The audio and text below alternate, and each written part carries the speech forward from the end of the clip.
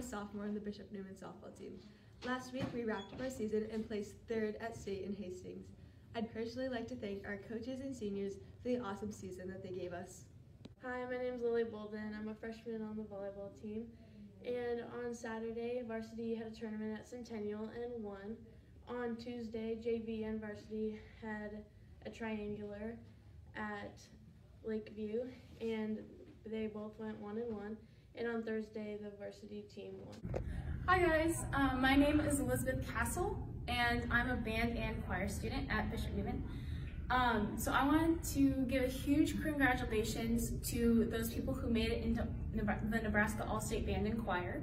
So for choir, for the first time, Maddie Barger made it on soprano 2, Anna Toline made it on alto 1, Martina Brunsroth made it on alto 2, and Jordan Heemstrom made it on tenor 1.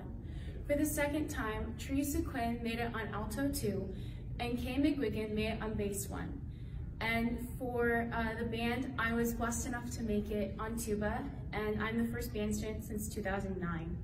And this is uh, the most people that we've had make, made it into All-State at one point. The uh, Bishop Neumann football team will be playing at Syracuse tonight at 7 p.m.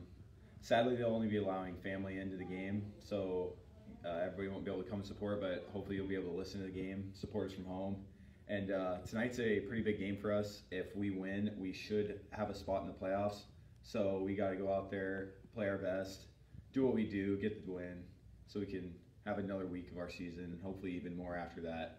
And uh, I believe that we have the team that's capable of winning tonight and then going deep into the playoffs and being having a successful end of the season. And roll Cavs.